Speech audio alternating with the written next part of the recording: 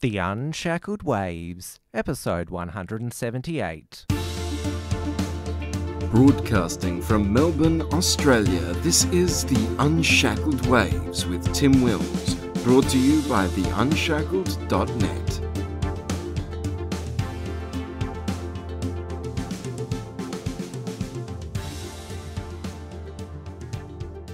Hello, everyone. Great to have your company. A bit of a shortened show this week. I will be joined in a moment by editor at large of The Unshackled, uh, Steele Archer. He'll talk about the uh, latest uh, housing slump in the global market and how it's tied into interest rates, as well as looking at the overall uh, message from the uh, current social media deplatforming of people such as Alex Jones and InfoWars, Gavin McInnes and the Proud Boys, and what it means for the, the state of internet freedom and, of course, uh, free speech. Steele, welcome back to the show.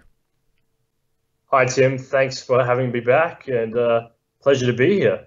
Now, we had John Adams on the show uh, a while back where he talked about the, the coming economic Armageddon, and a lot of it has to do with the, the state of the, the housing uh, market. And yeah, there's been much commentary about Australia's uh, housing uh, bubble, and it seems to be the, the case uh, a lot elsewhere. But uh, you follow these economic developments quite closely, and you've noticed that housing prices are beginning to slow in growth uh, globally. What does that mean? So, yeah, I find this a very interesting turn of events, Tim, because this week is the week we've sort of we're starting to go over the hill. We're starting the ball is starting to roll down, where housing prices globally uh, across all these bubble economies are starting to go down. And what does that mean? That's really important because because interest rates within the context of interest rates uh, we're in a globally we're in a, a zero interest rate policy, or an, uh, sometimes in some countries a negative interest rate policy. But it's important. To, it's important because when you lower interest rates, interest rates are supposed to spur economic growth, but all they ever did was spur housing growth and housing prices. And that led to bubbles, and now those bubbles are bursting within the context of 0%, 1%, sometimes around 2% interest rates. This is extremely troublesome. Uh, this, John Adams, he's, he's right on the money on this one. Economic Armageddon is coming. It's absolutely coming. And, and it's it's kind of like why you would think of all this censorship with info wars and the attack on the media and the attacks the attacks that are coming is because the economic Armageddon is just around the corner. And I, I, wanted to go on record as saying we are flying too close to the sun for comfort. And always is the case is when there's a, a bubble, and especially with a low interest rate, it takes the form of housing and other uh, uh, capital uh, intensive industries. Uh, but uh, in terms of consumer prices and all importantly, wages growth, because stagnant wages, it's been a topic of, of discussion in Australian politics for probably the, the past year. We're seeing assets go up in value, yet people's paychecks are not increasing by that much. This is absolutely a fantastic point because look, if you if you look at if you look at America, America is sort of a little the American wage prices are moving a little bit. They haven't moved much, but in the Trump economy, they're moving a little bit. But in Australia, if you look at the price uh, wage price index, for example, that it's stagnant. It's stagnant. Wages are not moving at all, and and consumer price is going up. So people all around me, just my general friends, my people in the street, they're all saying, why is food going up? Why are energy prices going up? Why are all my bills, you know, going up and my wages either stagnating or, or, or collapsing? And and you know, and the, the central banks aren't doing anything about this. They're they're they're looking for inflation in the economy. They're they're searching for this inflation, and they're not. And sometimes sometimes they're getting it. Sometimes they hit and miss a bit, um, but mostly they're missing. Um, and you know, and the global growth just isn't there to back them. It's just not there to back them. And um, we're we're standing on the edge of a precipice because the the uh, the uh, people are not going into the stores. They're not buying, uh, you know, re- retail uh, retail goods anymore. Um, you know, the retail index in, in America is is slumping. Uh, in the UK, it's it's holding out there just, um, and you know they're trying they're trying to you know, but in Australia, you know, where we it's it's it's not looking good. The retail sector is not looking good, and the the velocity of money is slowing as well. Um, looking at the velocity of money charts, and the velocity of money is slowing as well within the context of this zero interest rate environment. And I think this is paramount of why there's all this censorship that's going on right now in the in the cybersphere. I think there's I think there's something big right around the corner, Tim. Yes, that's been probably the biggest story internationally the the, the past uh, couple of weeks because obviously the the the, the big uh, I would say shock is that uh, Alex Jones Infowars, they were uh, kicked off uh, Facebook, uh, YouTube, uh, Spotify, and iTunes all in the space of 24 hours. He was only left, Alex Jones, with, with Twitter, and now he's been suspended from that as well. And everyone was wondering if they can do that to Alex Jones and Infowars, given how big that he is, the, the reach and influence that he has, who else are they going to do, do it to? And of course, Twitter did it to uh, Gavin McInnes and the uh, Proud Boys. I had one of the, the US uh, Proud Boys on, Jason Van Dyke, on the, the, the previous show to talk about that because uh, apparently the, the Proud Boys violated Twitter's rules on uh, promoting violent uh, extremist groups. And then we've had this week another development. Robert Spencer, who is a uh, anti-Islam uh, activist. He's uh, written plenty of books on it. Um, don't get him confused with uh, Richard Spencer, two completely different people. Uh, but he uh, had Mastercard pulled people weren't able to uh, donate or pay for his products through uh, MasterCard. And so that was uh, uh, credit card company uh, de- uh, deplatforming somebody, which is uh, probably the the next step. I mean, we knew that uh, F- Facebook and all these other major tech tech companies were terrible uh, in, in, regards to no platforming people, but obviously had taken to the next level. But f- credit card companies, and of course, we've also seen PayPal. They suspended donations to WikiLeaks at one stage, and of course, Patreon has kicked off off people such as Lauren Southern and, and Faith Goldy. So they'll they'll not just uh, try to get you deplatformed, but cut off your income as well. And it seems that these uh, uh, uh, these facilitators, these merchants, are prepared to do the same as well. Well, they tried this on a national level. Uh, Obama tried to cut uh, Russia off from the SWIFT system, from the SWIFT system, which is the system, the interbanking lending mechanism.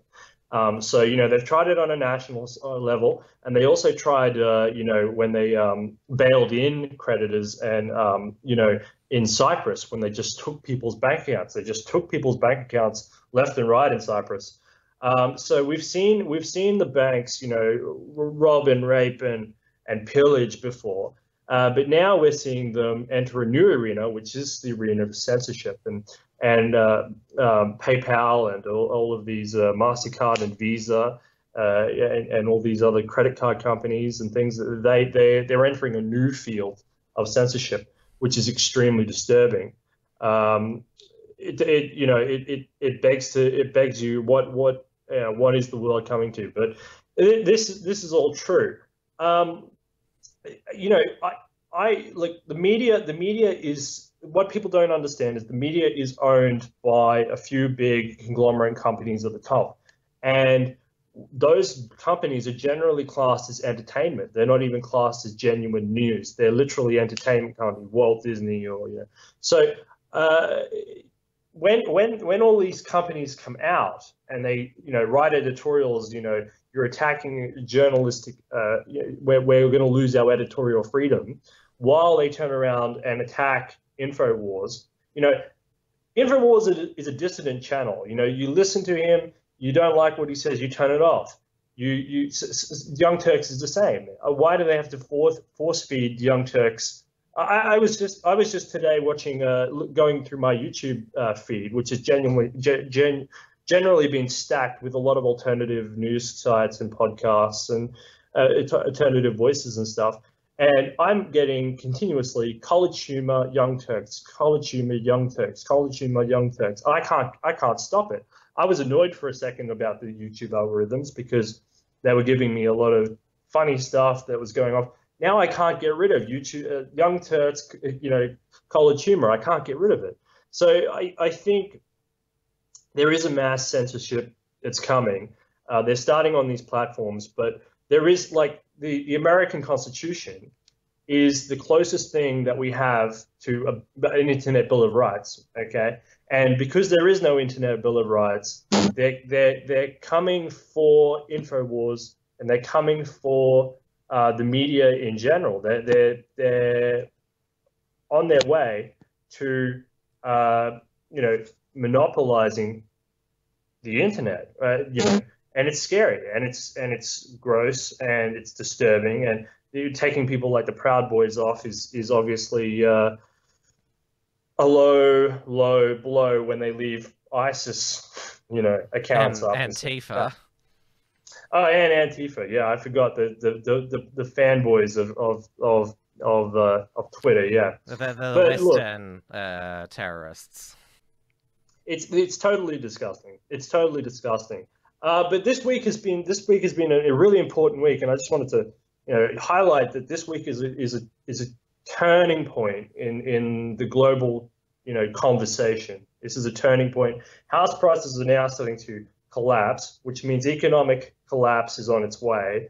Censorship is on the rise. The globalists are you know they they're coming for what's left of the internet, what's left of the free speech on the internet um, you can't survive in the casino gulag, as Max Keiser puts it, uh, on a single website. You do need these platforms. Um, blockchain, put that over to the side for a second. That's something that could, you know, change the change the conversation in terms of this internet censorship. Um, but you know, I, I, was just thinking about the, the, the, readers of TU. I was thinking about TU because how are, how are alternative platforms like yours over there, Tim, and TU? Um, how are these guys going to, you know, progress into the future? If their whole business model, if the whole, you know, function of telling truth and speaking truth and power to the people and and free speech and free and how is that going to even be a viable sort of uh, mechanism into the future if if there's this big interstellar intergalactic war going on in New York, you know, um, this this is really important stuff, and you know we need to rally as as a community behind a, an internet bill of rights or something because censorship is coming. It's already here, obviously, uh, conservatives and stuff like that. But it's it's it's crazy, and all oh, this big editorial, you know, this big editorial, this this thing where there's 350 companies or 250 or 150 or whatever it is, all writing the same thing about Trump while all denouncing fairly, pretty much InfoWars and the fact that, hooray, they've kicked this off the platform and now they're coming for conservatives and now they're coming for alternative voices and now they're coming for alternative financial analysts and everybody else. This is crazy. And we've hit the turning point. This week was the turning point um, in the global tide. I just wanted to make that point clear on record.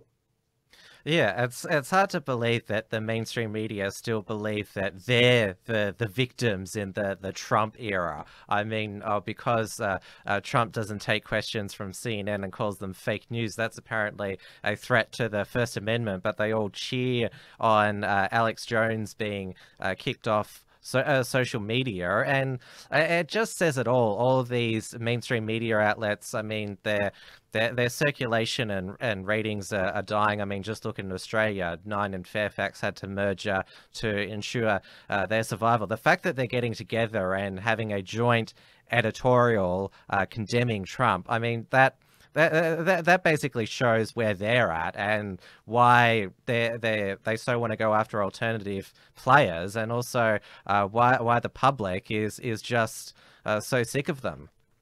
Trump Trump let CNN in, have a have their own studio inside the White House. I don't know how I don't know how he's anti CNN. He let them have their own studio inside the White House with direct, almost down the, the corridor access to the Oval Office. I don't know what they're complaining about. You know, they they're not. It's like not like they have been kissed, kicked out of the, uh, you know, Sarah Sanders uh, press conferences, briefings, or anything. I mean, there's the media freedom for for the most part is alive and well. These corporations are very very greedy. These corporations are working with some sort of sinister you know section of either either the corporate world or the government or a bit of both or geopolitics or there's something going on. There's something going on and they're cracking down on your and my and all of our audience and all of the conservatives and any decent thinking person.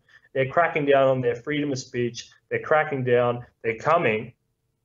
And they're starting with alex jones. And all the, these you know these these media outlets who cheer you know if the day if if if trump really wanted to he could he could sort of put a slammer on it but he's not. It's these leftists these globalists or whatever you want to call them who are who are pushing this agenda you know? So you know i i wonder you know i was wondering i saw that anning speech that everyone's going on about uh, it's fraser anning or whatever you know, I wonder if in the future, five years or something, you'd be even allowed to report on that speech, the fact that it happened. You know what I mean? It'll be on some parliamentary tape somewhere.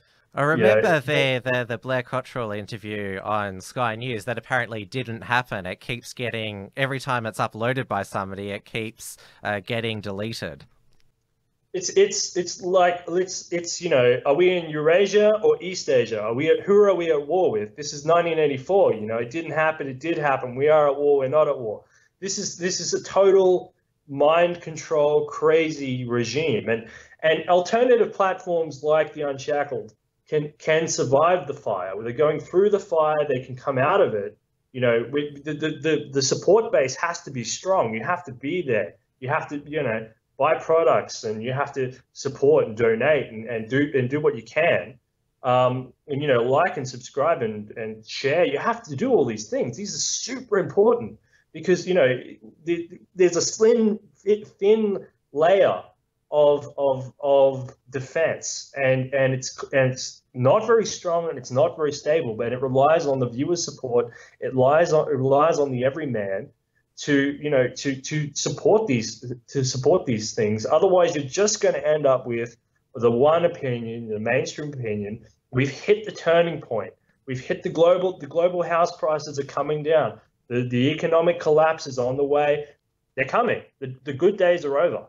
Rally behind your your independent media over here at the Unshackled. Rally behind them. Get ready to rock and roll because we've hit the turning point.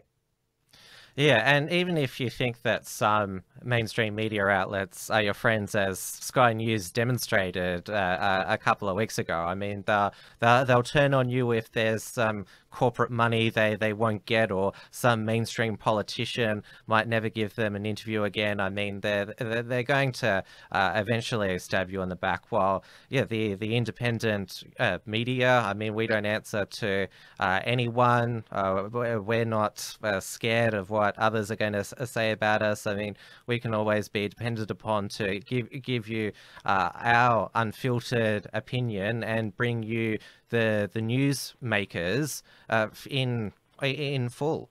That's exactly right, Tim. That's that's 100% correct. Look, listen, the the internet is going on. Uh, there is a fundamental shift underway within the internet. The, the censorship is becoming extreme. The levels of censorship are extreme, and the the most important part is the whole environment is complicit in this fraud of censorship. The Unshackled and a few other, you know, patriotic sort of outliers stand above this, and, and this is why you have to keep this fight, keep going strong. Don't don't cave. Don't don't give in to these bullies. Don't give in to these these uh, hounds. You know these guys. These guys are absolutely uh, crazy. You know they they're on fire right now because they know they've made some mistakes in the economy with the wars, with the, you know, with uh, you know, with the healthcare, with the, the cheating in the healthcare system. They know they've made the mistakes, and they're trying to cover their tracks now. And it's up to us, as you know, which has been enshrined as you know the fourth estate, the the media, the free press, the free voice, to you know, call out these guys and don't let them get away. But for that, you know, we need the support of the people. The people have to be behind, you know, platforms like the Unshackled and the other voices that are out there, the alternative voices, the First Amendment voices, defending the First Amendment of the United States, freedom of speech, defending, you know, this idea, getting on board with this idea of a Bill of Rights on the internet to keep it free, to keep it free from those that wish for people and platforms and ideas to be silenced. Uh, I got a call tonight from an associate of the the Unshackled, and uh, he runs a, a, meme page which has just got zucked, and said to me, "I'm amazed you guys haven't been uh, zucked at all, but we've we're we're lucky in that regard. But we know it could happen at uh, any moment, which is why we've invested so much in our web presence. So if anything does happen to us on one of the social media platforms, you can always go to the unshackled.net, uh, and we've of course also got our email list there, which in case uh, we ever lose our uh, Facebook or uh, YouTube followers, we've got a way to directly reach them and say, hey, this is what's going on. Yeah, absolutely. This is this is really important. We're going back to the, the bones of the internet, and that's how you know that you're in a you're in a you know you're on a good you're on a good dime with a good platform if they're willing to eh, give you and feed you information at, at such a base level. Um, you know, so this is this is good stuff people get behind the Unshackled, support it, you know, stand up, Bill of Rights, free speech. Let's go. Let's do it. We can do it as a community. We just have to stand up to the bullies, stand up and face them and call them out and keep going and keep pressuring. We don't let them win. We're not going to let them win. Oh, I certainly enjoy being in this fight with you, Steele, and thanks once again for coming on the show. Thank you, Tim, and uh, we'll keep well, we'll keep watching and we'll keep we'll keep fighting. All right, everybody, that's the show for today. Coming up in Melbourne this month is the March for Men, which will be on Saturday, the 25th of August at 1 pm at Federation Square. It is designed to bring attention to men's issues and say that it is okay to be masculine. It is being organised by local social media personality Sydney Watson, the Campaign Against Racism and Fascism, uh, along with the National Union of Students Women's Department, have organised a counter protest against what they call a far right and racist and bigoted event. We will be there to cover the event from both sides, so stay tuned for that and please don't be deterred from attending. The next international guest coming to Australia is former UKIP leader and Brexit champion Nigel Farage. Next month, he is visiting Sydney, Melbourne, Adelaide, Perth, and Brisbane, as well as Auckland. The campaign against racism and fascism are planning to go along to that Melbourne event as well, but I think they'll find it a bit more difficult to disrupt an event with an international politician. You can get your tickets, including various VIP passes, by visiting nigellive.com.au. Also, to make sure that we can continue to put content out on a regular basis and cover all the news as it happens, uh, please consider becoming a patron of The Unshackled at patreon.com slash The Unshackled. So thanks once again for your company and we'll see you next time. Thanks for tuning in to The Unshackled Waves. Please visit theunshackledwaves.net for all the ways to subscribe and follow the show. Don't forget to pick up your free ebook at theunshackledbattlefield.net and keep checking out theunshackled.net for all the latest news and commentary.